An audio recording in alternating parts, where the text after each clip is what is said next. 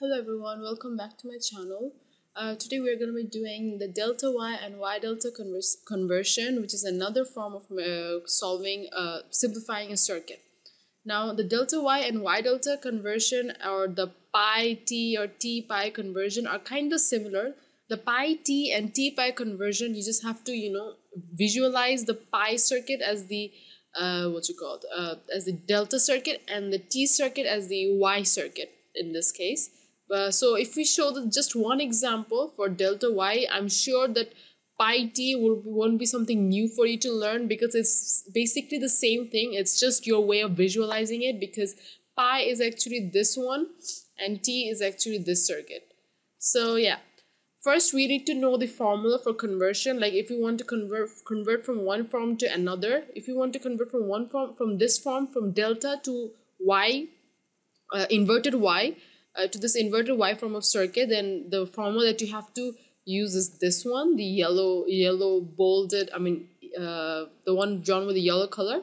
It's like for finding RA, you just have to do, you just have to use these R1 into R2 divided by sum of all these resistors. And for finding RB, uh, you just have to use see this is B. So R R1 into R3 div uh, divided by the sum of all the resistors and similarly for RC you do the same. R2 into R3 divided by the sum of all the resistors. And if you want to find the opposite if you want to convert this one the Y so the Y form of circuit to a delta form of circuit then you use this formula the one in the green.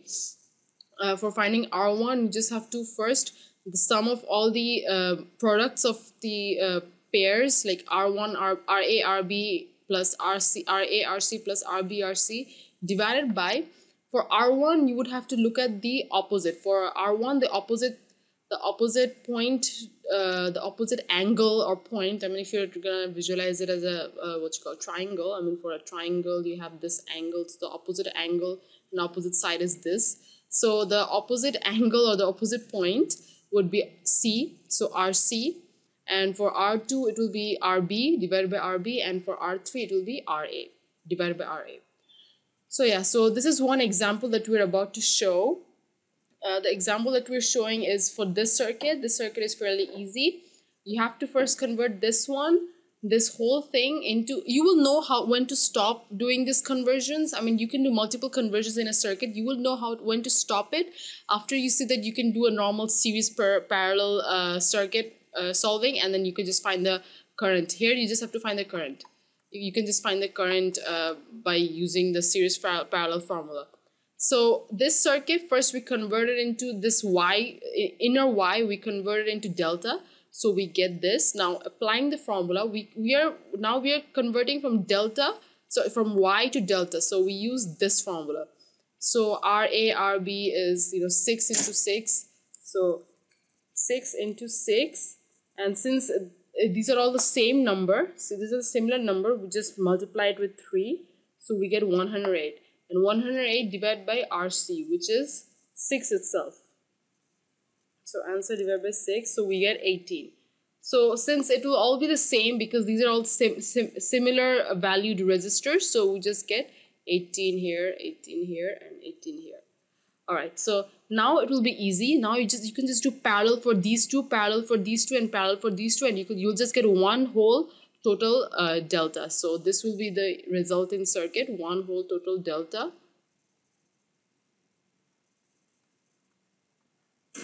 So since we know that doing a parallel of a similar number, similar valued resistor, if we do a parallel conversion of similar number, a similar valued resistor, we just get the half of it. So the half of 18 is uh, 9. So this will be 9, 9, 9.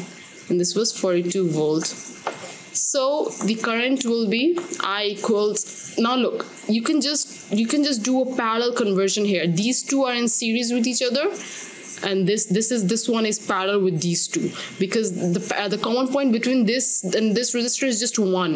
Now th these are not the common point between these two resistors just one common point. So these two are in series.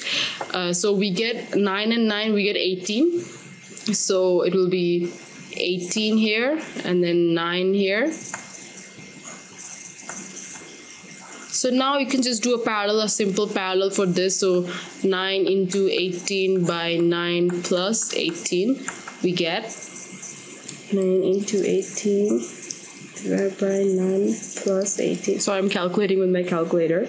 So we get 6 ohm. So that's the total resistor. So I equals V is 42 volt divided by 6 ohm. So we get 6 sevens are 42. So, so 7 ampere.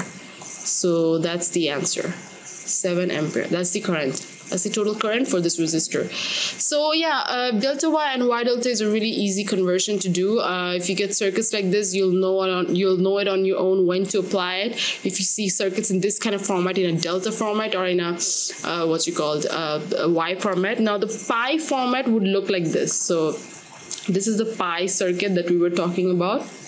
Now notice that it's actually just it's actually just another delta. See if you just take this as one point take this as one point so this is this one point that's that's here. So we have this one here and this one here and then this is the resistor. So this is the delta. And for t the t conversion that we would do is this is the t so this is the t format. The t format is just y. So if you just invert these resistors you just draw it like this way. Like you know this is the t okay? This is the uh, sorry. This is the t and this is the y so these are these are basically the same. You don't need to learn anything new. The pi t or delta y, these are the same thing. You just have to visualize it in the same, in one way or the other. If you want to visualize, if you find this one easier, you visualize it in, in this way, and the formula is the same. This is the formula for converting from delta to y, the yellow one, and the green one is for y to delta. So yeah, uh, I hope you understood uh, my tutorial, and please subscribe and uh, give a thumbs up to this video if you want more tutorials. And good luck.